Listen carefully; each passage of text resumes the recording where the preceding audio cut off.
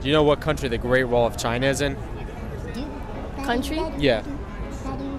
If you had to guess.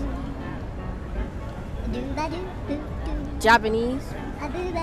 Yes. How many days of the week end with the letter Y? Monday, and is the five days out the week except for Thursday. Do you know what two countries border the USA? No. Like what's on top of us and what's below us? Um, isn't the North Pole below us? Yeah. And what else? And uh, what is above us? Is it Europe?